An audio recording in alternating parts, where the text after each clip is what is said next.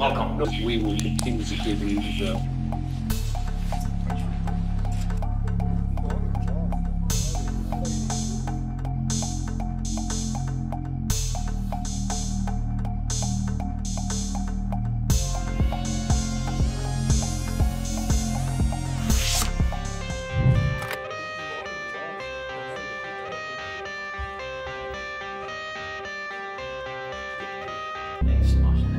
It's very important now.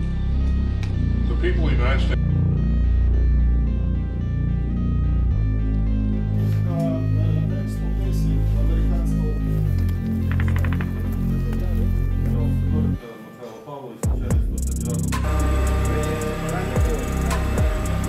and I'm quite sure this will help uh, you in your fight against the Russian aggression.